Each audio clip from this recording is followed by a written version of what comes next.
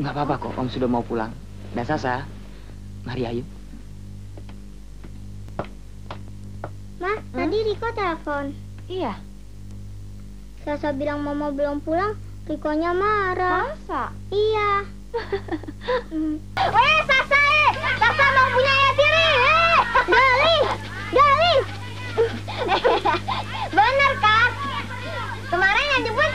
tuh?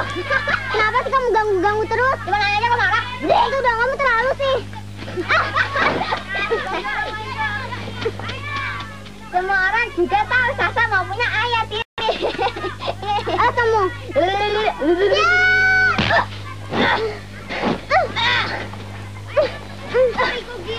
Ini anak kecil mau ngapain sih? Macem-macem kamu. Eh beneran? Awas kamu, gua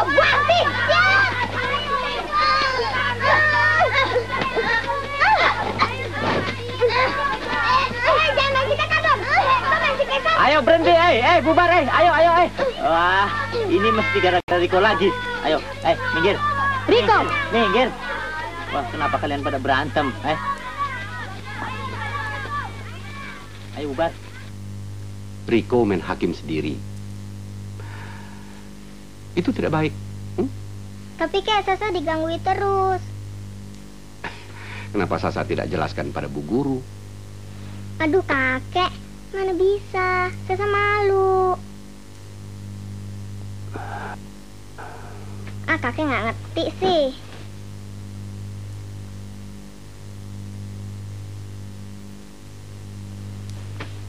Saya mau mama dan papa pisah. Kakek ngerti. Kakek ngerti.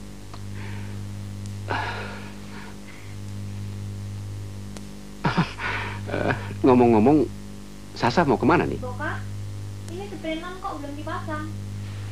Sebentar lagi dia kan mesti tidur. Iya, Den. Pergi lagi deh. Kenapa? Sasa nggak enak. Apanya yang nggak enak? Mama terus-terusan pergi sama Om Firman. Ya nggak apa-apa kan, Norma mama berteman sama... Tuh, kakek gitu. Kakek harusnya Harusnya bagaimana? Bagaimana? Ayo. kakek harusnya berusaha supaya mama dan papa balik kembali. Oh. Kasihan papa kan.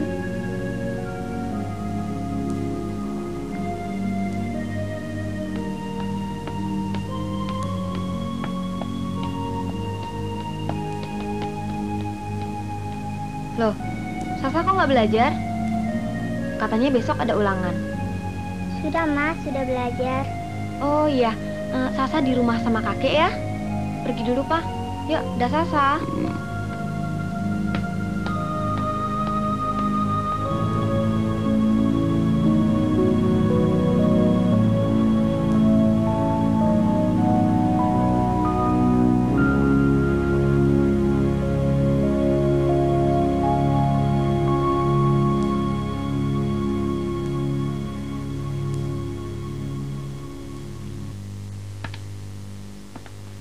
Bagus nggak?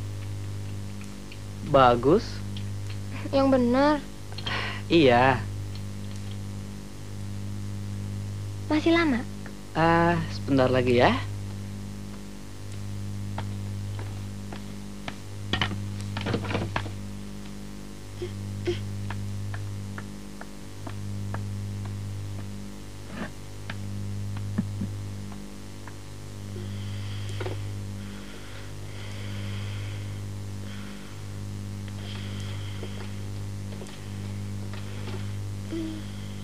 Halo? Andi? Mbak nih. Aku pulang agak malam. Nggak usah ditunggu ya? Nggak ada apa-apa.